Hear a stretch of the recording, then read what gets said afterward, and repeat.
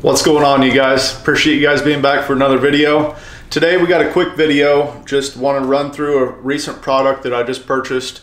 Actually used to use one of these that was kind of similar on my Grendel build uh, that I used to shoot a lot of coyotes with, but um, went away from that for a little bit and finally put one on my uh, DNA 243 here. But that is just simply a laser. Uh, we're not talking about an aiming device uh, anything like that. We're just talking about simply locating coyotes.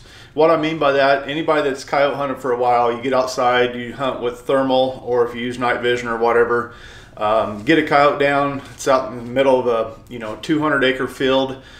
Put your headlamp on, get your uh, spotlight out, whatever it is. You start walking towards that coyote, and you're like, "What the hell? I thought it was right over here." You just simply can't find the thing, and you walk around for a while, spinning circles.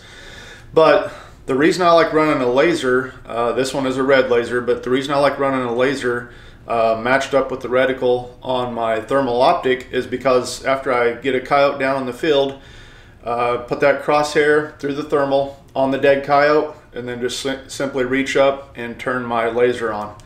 That red laser is going to be super visible at night.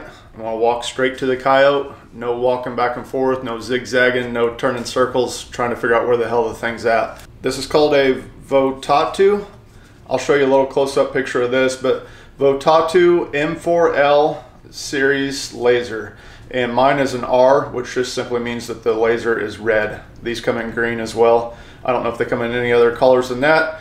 But uh, I bought this myself, and this was just simply on Amazon. So I'm going to make sure and link this down below. You guys can take a look at it there. Uh, works really well. Super, super simple to set up. It's M-LOK compatible. And yeah, all it is is simply a red laser. I don't know if you're going to be able to see it here on the end of my hand or not, but I'll show you a different angle here. That's it right there. And I think I paid 45 bucks. Throw a link to it down below. You guys can check it out there. Works really well feels really sturdy. It's good quality for no more than I paid for it. Um, and it's rechargeable. Yeah, you just put a little magnetic clip right here that's a charging port and it just fastens right to it. And then there's a light on there, it's red and then it turns green whenever it's fully charged. So super simple. You can see it right there on that pole.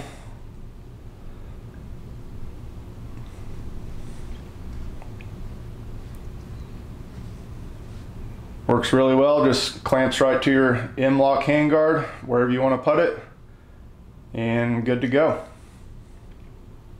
Yeah, that's it guys, just real handy, real simple to use. Uh, push it once to turn it on, push it twice once it's on, and that turns it on to a little bitty strobe.